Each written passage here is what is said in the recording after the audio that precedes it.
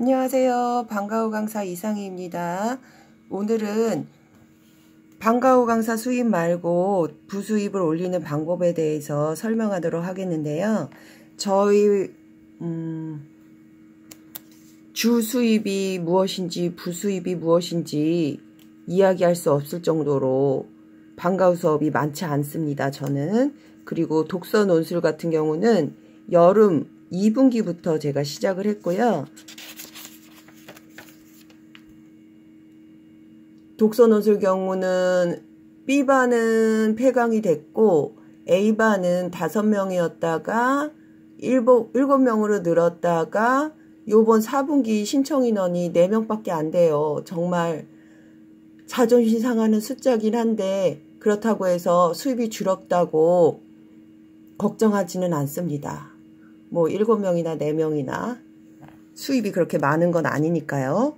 그리고 수입이 줄어도 별로 걱정하지 않는 다른 이유는 바로 부수입이 빵빵하기 때문인데요. 방과후 수업을 하다 보면 이제 가르치는 실력은 되잖아요. 그러다 보니까 이제 개인 지도를 부수입으로 하게 됐는데 개인 지도하는 업체가 있어요. 저 같은 경우는 개인 지도도 방과후도 업체를 통해서 하고 개인 지도도 업체를 통해서 하는데 아, 그렇게 하면 수수료를 많이 떼니까 불리한 거 아니야? 하는데 좋은 업체가 있더라고요. 우연히 알게 됐는데 예전에 방과후 강사 하기 전에 저는 경력을 키우기 위해서 학원에서 파견해주는 개인 지도를 했는데 15만 원을 받으면 저한테는 7만 원 정도 주고 나머지는 다 학원에서 갔더라고요. 그래도 꾹 참고 일단 경력을 쌓자 하면서 다녔죠. 그리고 나서 방과후 강사 하면서 다른 개인 지도 업체를 알아봤더니 강사한테 한 달에 16만 원 정도 주고 수수료는 학부모한테 따로 받더라고요.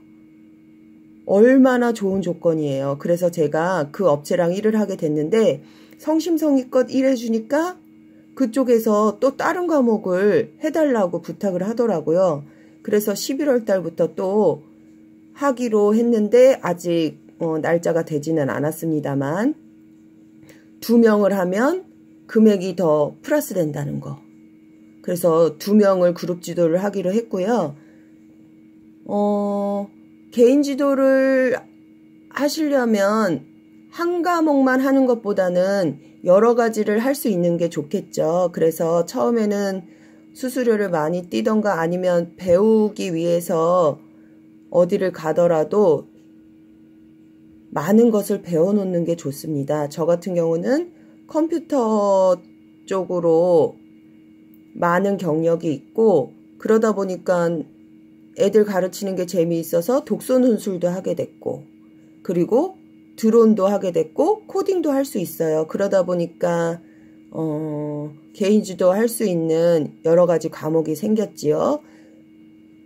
공부는 원래 평생 공부라고 하지 않겠어요?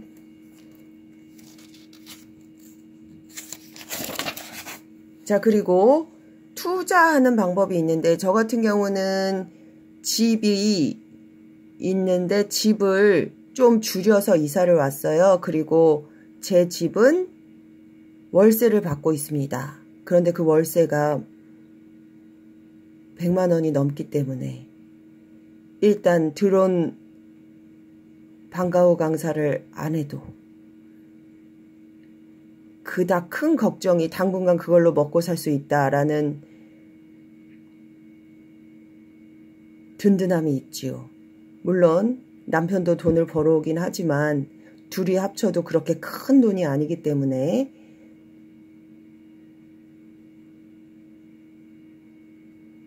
그냥 음, 둘이 행복하게 살 수 있는 정도 물론 주관적인 의미의 행복이지만요.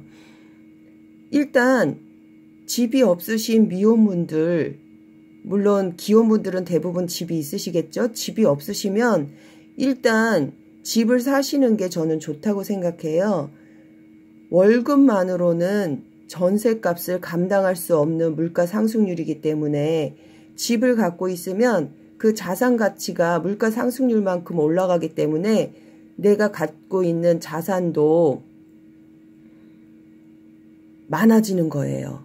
그렇기 때문에 집은 대출을 받아서라도 전 꼭 사야 된다고 생각합니다. 실제로 제가 집을 3개까지 가져본 적이 있는데 모든 집값들이 다 오르더라고요. 이제는 늦지 않았을까라고 생각하시는데, 음, 그거는 물론 개인적으로 선택하셔야 되는 거겠지만, 제 개인적으로는 사야 한다고 생각합니다. 일단 뭐 집이 없으면 거기서 살면 되는 거니까요. 집값이 떨어지든 안 떨어지든. 위치를 좀 좋은 곳으로 선정하는 게 좋긴 하겠죠. 그리고 어 저는 주식이나 외환에도 관심이 있는데요.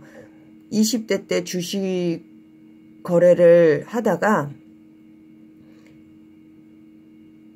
직장 생활하면서 정보를 얻기가 힘들어서 주식에서는 손을 뗐습니다. 그때도 많은 돈을 벌지는 못했지만 손해는 안 봤어요.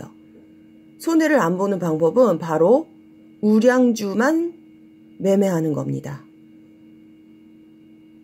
우리나라는 우량주 외에는 작전 세력이 너무 드나들기 때문에 사실은 게다가 직장 생활하면 정보가 빨리빨리 파악이 안 되잖아요. 일하는 동안 뭐 공시 같은 것도 볼 수 없고 오르락 내리락 하는 그래프도 볼 수가 없기 때문에 시황을 볼 수 없기 때문에 우량주를 사면 손해는 안 봐요.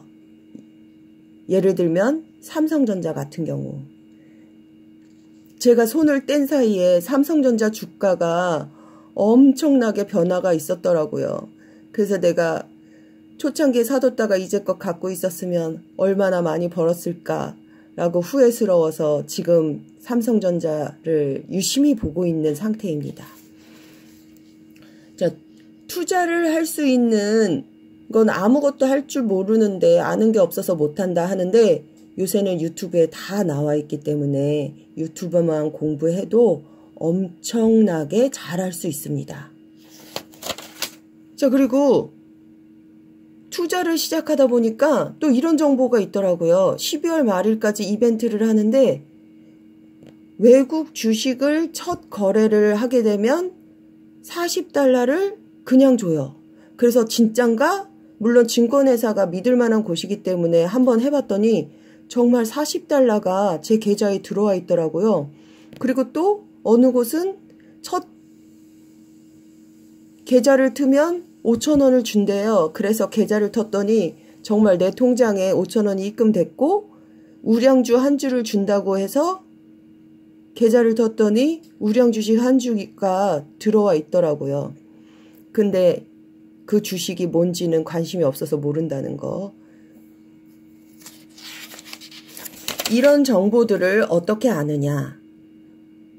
제가 가르쳐 드리지요. 구독, 좋아요 누르시고 유튜브 아래로 쭉 내리시면 댓글 다는 곳이 있어요. 그 댓글에 구독, 좋아요 눌렀어요 라고 다시면 제가 이메일로 개인지도 업체 그리고 유튜브로 투자 공부하는 방법 뭘 투자해라 이런 얘기를 하는 게 아니고 일단 기본적으로 공부를 해야 되기 때문에 동기부여도 되고 공부할 수 있는 그런 유튜브 채널을 알려드리도록 하겠습니다. 다음 시간에는 요새 한참 평가서 쓰느라고 바쁘시죠? 평가서를 그냥 사실 그대로 쓸까요? 뭐 나쁘게 써도 되나요? 이런 분들이 계시는데 평가서를 잘 쓰는 방법에 대해서 한번 알려드리도록 하겠습니다. 안녕히 계세요.